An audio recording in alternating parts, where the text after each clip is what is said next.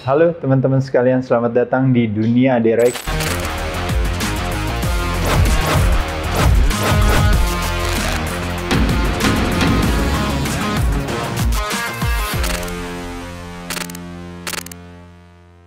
Kali ini saya akan membahas kebalikannya daripada populer topik yaitu adalah fat loss. Kali ini yaitu adalah yang namanya gain mass. Jadi kenapa kebalikannya fat loss adalah gain mass? Karena apa? Coba teman-teman tahu nggak kenapa? Karena yang kita mau naikin adalah otot. Yang mau kita bakar adalah lemak. Makanya kenapa kita nggak bicara soal weight loss tapi fat loss. Makanya kita nggak berbicara weight gain. Tapi yang kita berbicara yang namanya gain mass. Mass di sini adalah it's a muscle mass. Paham ya teman-teman? Nah jadi gimana ya caranya biar saya beratnya naik gitu. Ingat sekali lagi teman-teman kalau kita berbicara komposisi tubuh, ada otot, ada lemak, ada apa lagi teman-teman? Ada cairan di sini, ada organ, ya kan? Ada tulang. Nah, gitu ya, teman-teman. Ingat sekali lagi di sini, kita mau make sure semua elemen daripada komposisi tubuh itu kita mau naikkan. Ini kita mau turunkan di sini, ya. Ini cairan diseimbangkan. Organ tubuh harus sehat. Tulang harus dikuatkan. Lemak harus diturunkan, otot harus dinaikkan. Jadi kalau terjadinya berat badan naik, karena kita mau make sure terjadinya perbaikan komposisi tubuh kita. Jadi nggak sekedar cuma ya udah deh beratnya naik. Kenapa saya bilang nggak sekedar cuma? Karena nanti jawabannya ntar tinggal saya bilang ya udah teman-teman gampang kok. Tinggal makan semua makanan yang teman-teman suka, mungkin makan makan martabak manis, makan bakmi, makan apa saya bisa rekomend untuk teman-teman naik berat badan. Tapi kenaikan berat badannya tidak diimbangi dengan kualitas kesehatan yang baik dan juga secara visual penampilan kita juga malah lebih buruk dari sebelumnya. Bahkan tenaga kita akhirnya malah jadi lemah, lebih capek dan potensi terjadi berbagai penyakit akan hadir gara-gara kita naikin berat badan. Nah, jadi tema hari ini adalah menaikkan berat badan, bulking up secara proper, ya. Nah, saya akan bahas dari sisi bagaimana dengan pandangan teman-teman tentang karbohidrat kalau saya mau naikin berat badan. Bagaimana pandangan teman-teman tentang protein kalau saya mau naikin berat badan. Bagaimana pandangan teman-teman tentang pilihan lemak mana yang baiknya. Lalu yang keempat ya kita berbicara kardio. Lalu yang kelima kita berbicara latihan beban. Keenam kita berbicara pentingnya istirahat dan ketujuh kita berbicara mindset. Yuk kita mulai satu-satu. Kalau kita berbicara karbo, nah ya kan? Karbo selalu menjadi penjahat atau musuh kalau setiap kali kita berbicara apa teman-teman sekalian berbicara yang namanya kalau terutama nanti hubungannya sama insulin resistensi insulin terjadi adalah karena konsumsi karbohidrat yang berlebihan. Tapi bagi teman-teman yang mau naikin berat badan nih, terutama rata-rata, pertanyaan saya, lemaknya tinggi apa rendah? Biasanya lemaknya rendah. Biasanya teman-teman kan karena kurus, berarti teman-teman kadang-kadang susah naikin berat badan. Ada satu hal nanti, ini selalu nanti hubungannya nanti sama elemen yang disebut namanya latihan beban.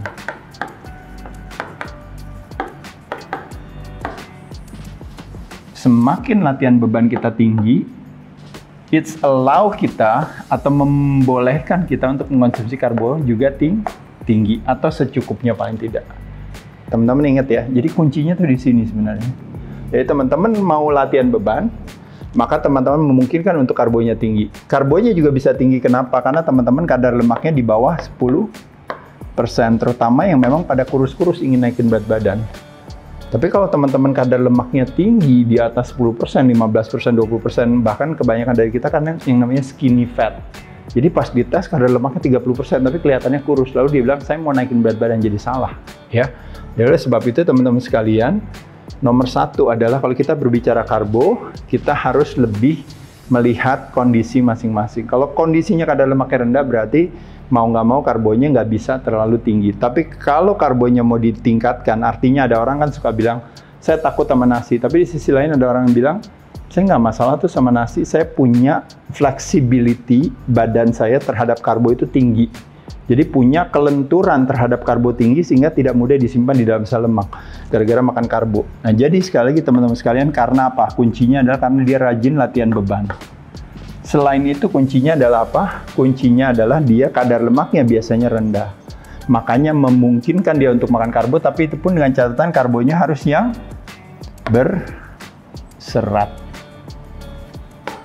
Apa aja tuh karbo yang berserat? Ya bisa ubi, bisa singkong, bisa nasi merah, bisa whole wheat,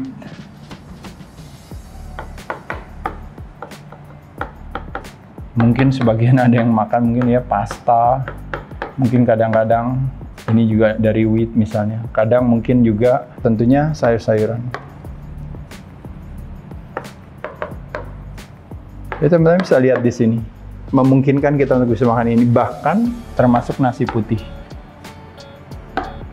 Di setiap meal bisa gak saya makan? Bisa nggak ada masalah.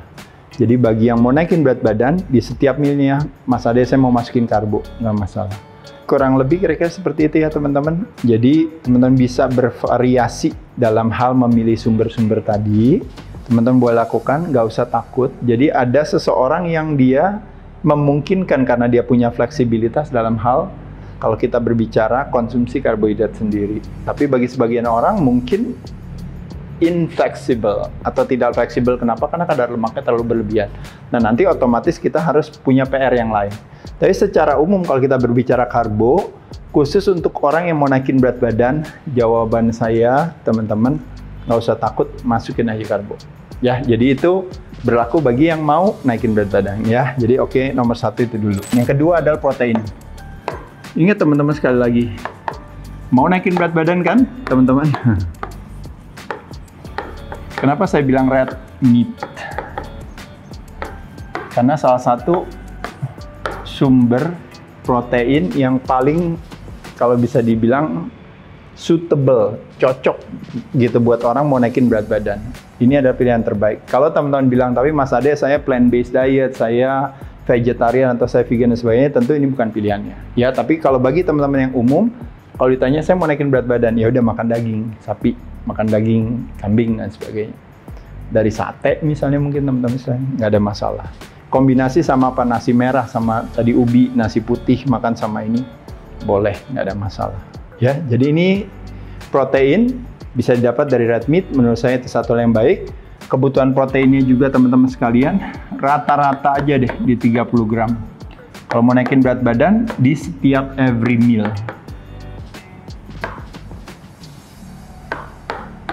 Ini cuma catatan saya hanya untuk bilang karena kebanyakan teman-teman makan ya. Makannya biasanya makan nasi, ntar sama apa gitu. Nasi sama apa, ntar kadang mie sama apa, tapi proteinnya kurang. Nah, jadi proteinnya harus tinggi. Tinggi dalam arti bukan harus tinggi sekali, tapi minimal paling nggak setiap meal teman-teman bisa masukkan itu. Sumber-sumbernya seperti udah sering saya jelaskan, bisa dari hewani, bisa dari nabati. Tapi kalau mau fokus ke red meat, fokus yang lain kalau mau ke X. X-nya apa? Dua-duanya. Berarti white sama yolks. Kuning telur, putih telur. Perbandingannya dua banding satu atau satu banding satu, silahkan aja teman-teman. Ya, kita berbicara le lemak. Ada satu fobia tiap kali kita berbicara lemak, seolah-olah takut sama lemak, takut sama lemak. Mau naikin berat badan, nggak boleh takut sama lemak, tapi lemaknya harus yang A, alami. Memungkinkan nggak lemak biasanya temennya dari mana? Dari protein Kenapa tadi saya bilang red meat? Karena red meat adalah kombinasi protein dan lemak yang baik. Telur putih dan kuning kombinasi protein dan lemak. Jadi fokus kalau kita berbicara lemak, kita bukan berarti oh berarti saya mau naikin berat badan, saya boleh makan goreng-gorengan. Enggak. Jawabannya harus makannya dengan pilihan yang tepat. Nggak boleh takut juga sama lemak. Mau pakein butter? Boleh. Ikannya, atau ayamnya, atau daging sapinya, atau telurnya. Nggak ada masalah. Tapi jangan pakai margarin. Karena apa? Karena lemak yang tidak alami atau yang olahan atau refined fats, problemnya itu adalah bukan masalah jumlah kalorinya. Jumlah kalorinya nggak ada masalah. Masalahnya adalah lebih kepada pemilihan sumber yang tidak baik. Akhirnya hubungannya dengan yang namanya chronic inflamasi. Jadi terjadi peradangan. Jadi bukan ide baik teman-teman sekalian ya. Nanti masalahnya nanti hubungannya ini pasti nanti dengan kolesterol. Kolesterol hubungannya dengan kerja jantung. Kerja jantung nanti hubungannya dengan yang lain-lainnya lagi, akhirnya bisa stroke dan sebagainya. Jadi bukan ide baik, ya teman-teman sekalian. Tadi kita ngebahas soal yang namanya kardio. Banyak kan yang mau naikin berat badan? Iya, tapi kerjanya tiap hari ngapain? Naik sepeda, olahraga, seminggu dua kali, tiga kali futsal. Kadang main badminton dan sebagainya. Jawabannya kardio harus dikurangi. Artinya apa? Menjawab pertanyaan selanjutnya harus ngapain dong olahraganya? Latihan beban. Karena apa? Karena otot lebih berat daripada lemak. Oleh sebab itu, latihan beban adalah pilihan yang tepat kalau mau naikin berat badan. Latihan bebannya adalah apa? Otot paling banyak ada di back dan legs adalah jenis latihan yang harus diprioritaskan. Satu. Dua, compound movement. Melibatkan lebih dari satu persendian, melibatkan lebih dari satu otot. Contoh, kalau back berarti latihannya apa? Latihannya pulse dan rows. Apa tuh? Bisa deadlifts, bisa barbell row, dumbbell rows, bisa apa lagi? Bisa pull, lat pull down. Atau pull up itu sendiri dengan menggunakan tubuh sendiri. Latihan back karena otot paling banyak ada di back kita legs. Otot paling banyak di badan kita ada di kaki dan di back. Di kaki kita, satu kaki depannya aja itu namanya quadricep. Berarti ototnya ada quad, quadruple, ada empat. Bicep, ototnya B2, sep kepalanya dua. Tricep 3, kepalanya tiga, sepnya kepala. Tapi kalau kaki baru depannya aja ada quadricep 4, di belakangnya hamstring, ada leg bicep, ada apa lagi? Ada bokongnya glutes, ada apa lagi? Ada betis seperti es krim dan konnya. Gastrocnemius soleus. Bisa bayangin nggak? Banyak nggak? Latihan apa kalau legs? Kalau pakai compound movement? Yaitu adalah squats dan leg press. Ini adalah dua yang teman-teman bisa lakukan. Rajin latihan squat, rajin latihan leg press, rajin latihan pulse, rajin latihan rows berat badannya pasti naik. Kalau rajin latihan beban seperti ini. Boleh nggak kalau seandainya saya leg extension, Mas Ade leg curl, itu adalah yang disebut kebalikan dari compound, yaitu adalah isolation. Boleh nggak? Boleh aja buat pemanasan atau buat penutupan. Pembuka atau penutup, tapi fokusnya tetap harus di compound movement, nggak mau di isolation movement. Jadi fokus ke compound movement atau basic movement atau yang dikenal saya ingat kan waktu kemarin belajar yang namanya bread and butter. Jadi fokus aja di total body workout. Kalau chest apa? Bench. Press. Boleh pakai barbell, boleh pakai dumbbell, boleh pakai plate loaded, boleh pakai mesin, pokoknya bench press. Back yang tadi barusan. Pulls and rows. Legs tadi barusan, yaitu adalah squats dan leg press. Lalu delts, shoulder press. Bisa apa? Bisa dumbbell, bisa barbell, bisa mesin, bisa apa lagi? plate loaded. Paham ya teman-teman? Arms. Berarti apa kalau arms? Berarti curling, curl, dan press down. Curls dan press down. Press down dengan menggunakan cable. Curls dengan menggunakan dumbbell atau barbell atau curling bar. Teman-teman bisa lakukan ini. Ini ada beberapa basic yang kita bisa lakukan. Kita pilih satu jenis, pendekatannya boleh heavy duty. Artinya apa? Kebalikannya dari volume, high volume, teman-teman latihannya di kisaran 6 sampai 12 reps. Buat naikin berat badan paling bagus di sini karena ini hubungannya juga dengan hypertrophy, hubungannya dengan muscle building. Teman-teman bisa lihat di sini. Paham ya? Jadi latihan beban jadi prioritas. Kardio dikurangi, senang lari, senang naik sepeda, senang apa semuanya kurangin. Latihan beban yang diutamakan. Latihan beban prinsipnya adalah fokus ke compound movement, fokus ke bebannya berat di kisaran 6 sampai 12 reps. Ini adalah beberapa total body workout yang bisa dilakukan, bread and butter. Dan tadi teman-teman, sekali lagi bukan berapa beratnya kita ngangkat, bukan berapa kalinya kita ngangkat, berapa lamanya, tapi berapa besar stres yang diterima oleh otot yang kita targetkan. Otot semakin terlatih, muscle fiber semakin terekrut, berat badan akan semakin lebih naik. Paham ya teman-teman sekalian? Recovery atau is istirahat. Paham ya teman-teman sekalian? Problemnya adalah kita kurang tidur. Cara tidur yang paling gampang adalah apa? Fokusnya kepada na napas. Buang dan tarik. Buang harus lebih tinggi, tarik harus lebih rendah. Kalau tarik nafas 3 detik berarti buangnya 4 detik. Kalau tarik nafas 2 detik buangnya berarti 3 detik. Dan seterusnya.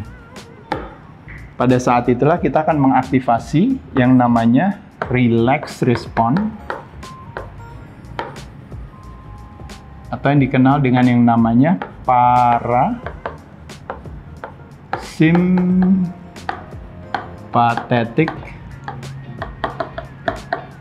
nervous system. Kebalikannya parasympathetic nervous system adalah sympathetic nervous system SNS yaitu hubungannya dengan stress response. Tarik nafas dua kali, turun sekali. Tarik nafas dua kali, turun sekali. Itu adalah kecenderungan yang kita lakukan setiap hari selama 23.000 kali. kita nafas, kita nggak pay attention terhadap nafas kita. Nah, pada saat itulah kita didominasi oleh namanya sympathetic nervous system yang modenya adalah fight, fight, or flight. Kabur atau lawan. Sedangkan kalau relax response modenya adalah rest and digest. Teman-teman bisa lihat di sini. Kalau kita istirahat dan mencerna makanan kita, berat badan makanya naik. Kalau kita mencerna makanan kita, apalagi yang kebaikannya daripada kita, yaitu imuni, imunitasnya kita naik. Paham ya teman-teman sekalian ya? Jadi sekali lagi, mau naikin berat badan tidak memungkinkan kortisol atau stres dijadikan sebagai yang kita adopsi sebagai lifestyle kita apalagi di musim infeksi ini ya teman-teman sekalian ya. Jadi ototnya turun malah lemaknya naik, tapi beratnya juga turun. Atau beratnya naik tapi beratnya naiknya kurang baik atau kebalikan turun, semuanya kualitas kesehatan yang menurun. Jadi kita mau naikin berat badan dengan cara menjaga kesehatan kita yang optimal. Pahami ya teman-teman? Dan terakhir, nomor tujuh yaitu adalah mindset. Mindsetnya adalah apa? Kalau kita berbicara bulking up, bulk up. Kan tadi kar karbo naik. Kardio turun. Latihan beban naik. Puasa Boleh nggak Mas Ade saya mau naikin berat badan? Maksimal di 12 jam aja. Kalau mau puasa tetap, jadi terakhir makan jam 9 berarti paling jam 9 pagi udah mesti masuk lagi, tapi itu pun masuknya adalah masuk apa? Masuknya protein dan lemak. Kardio udah turun, rajin latihan beban, karbo berani, protein tinggi lemak juga boleh tinggi atau sedang, tapi yang good fat, yang alami. Mindsetnya harus jelas kita jalani strategi ini. Nah pada saat hal ini semua kita lakukan teman-teman sekalian, istirahatnya tadi cukup. Artinya apa teman-teman sekalian? Berat naik. Ketika berat naik apa yang harus diimbangi? Latihannya lebih keras. Kenapa saya bilang latihannya lebih keras kalau beratnya naik? Dengan berat naik memungkinkan kita untuk latihannya mengangkat beban lebih banyak dan pada saat itu ototnya akan lebih tinggi. Otot tinggi, lemak menjadi lebih rendah. Berarti apa yang terjadi teman-teman sekalian? Secara metabolisme kita lebih fleksibel. Fleksibel dalam arti apa? Badan nanti kalau besok-besok kita mau puasa, mau gunain lemak kita sebagai sumber tenaga bisa. Kita nggak mau puasa, kita mau pakai karbo sebagai sumber tenaga bisa. Kita makan karbo nggak disimpan di dalam sel lemak, kita makan karbo dipakai buat tenaga.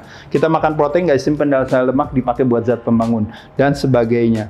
That's what bodybuilding is all about. It, that's what uh, kalau kita berbicara kesehatan itu is all about.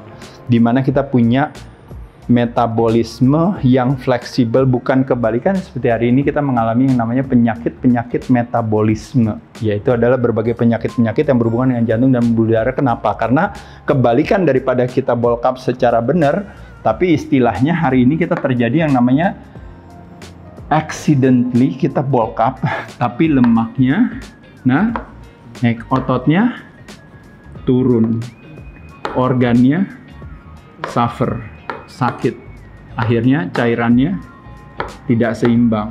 Tulangnya lemah dan sebagainya. Bukan ide baik. Kurang lebih demikian teman-teman. Semoga bermanfaat. Ini adalah berbagai tips strategi menaikkan berat badan dengan cara yang baik dan benar. Selamat mencoba.